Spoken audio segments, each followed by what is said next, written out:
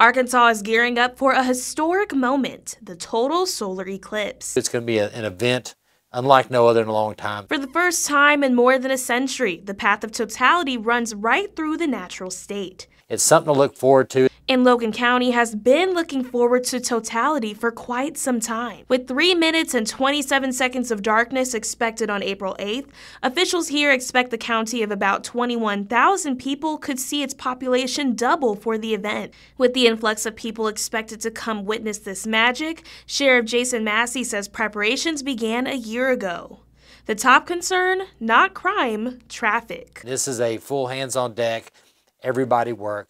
We're going to divide our county up into smaller zones and have extra deputies working so we can have them in the different communities in case traffic is so bad we can't move. Logan County EMS will also be stationed across the area.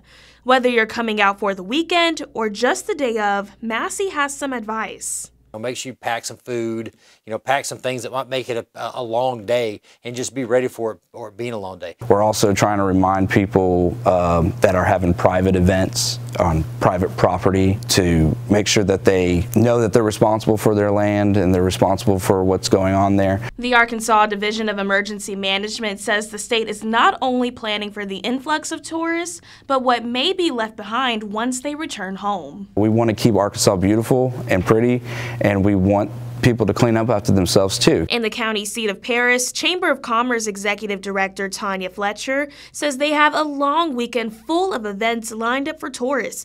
It's kind of like having a, a mini Super Bowl in your community, and so we're just excited to welcome people. We, we hope that there are people from other states and other communities that come and fall in love with Paris just like we are. And one spot sure to draw a huge crowd Mount Magazine, the tallest mountain in Arkansas at just over 2,700 feet.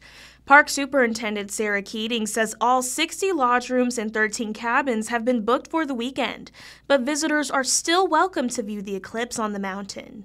Some folks will be up here camping out and, and, enjoying the park in that way. So we're excited about all the activities we have planned. Months of anticipation, Thousands of visitors, all for three and a half minutes of darkness. In Paris, covering news where you live, Kayla Davis, 5 News.